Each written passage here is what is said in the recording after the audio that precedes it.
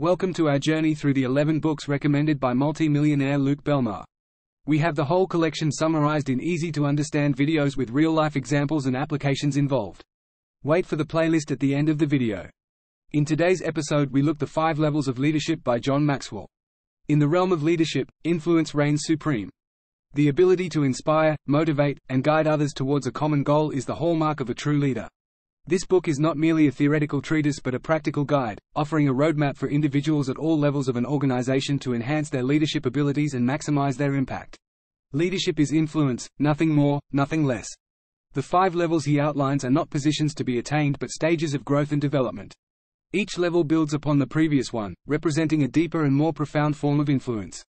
As individuals progress through these levels, their ability to lead and impact others expands exponentially. This video will delve into each of the five levels of leadership, exploring their key characteristics. By understanding and embracing these principles, individuals can unlock their leadership potential and make a lasting difference in their personal and professional lives. The journey of leadership is not a solitary pursuit.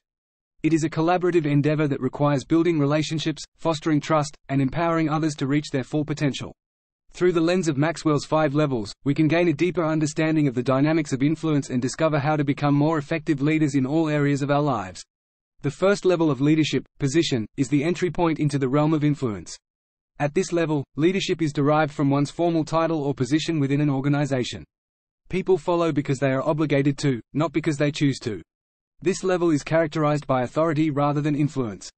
While position is a necessary starting point, it is the least effective and least influential level of leadership. Imagine a newly appointed manager, armed with their new title and authority, they begin issuing directives and expecting compliance.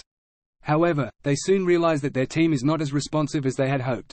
This is because they are relying solely on their position to lead, rather than building relationships and earning the respect of their team. Level 2 Leaders must recognize that position is merely a platform, not a guarantee of success.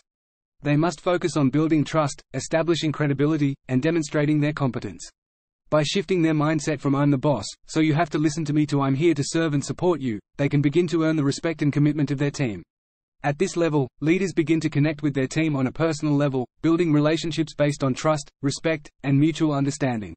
People follow because they choose to, not because they have to. This level is characterized by influence rather than authority. They create an environment of open communication and actively seek out the opinions and ideas of their team. By building strong relationships, they create a foundation of trust and loyalty that empowers their team to perform at their best.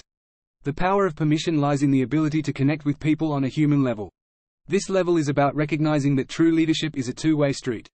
At level 3, production, leaders are defined by their ability to consistently deliver results. They are highly effective problem solvers, possess strong work ethics, and inspire their team to achieve ambitious goals. People follow because of what the leader has done for the organization. This level is characterized by competence and achievement. Think of a CEO who has a proven track record of success, having consistently exceeded expectations and led their company to new heights. Their ability to achieve tangible results earns them the respect and admiration of their employees, who are inspired to work harder and contribute to the organization's success. While production is essential for effective leadership, it is important to remember that results should not come at the expense of people. Leaders at this level must strike a balance between achieving goals and maintaining a positive and supportive work environment. By celebrating successes, recognizing contributions, and providing constructive feedback, they can create a culture of excellence that drives sustainable growth. Level 4 Developing others. Leaders that have the strongest teams not only motivate and drive results, they focus on developing their team to perform without the need for oversight or micromanagement. Every successful team is full of leaders and people that know their role and can perform it to the best of their ability to get the same results whether or not you are there managing the situation. Level 5, Leaving a legacy. This final level is closely related to how well you perform at level 4. If you manage to develop your colleagues and team to be able to perform, lead and achieve without the direct oversight and light touch guidance then level 5 will be easy.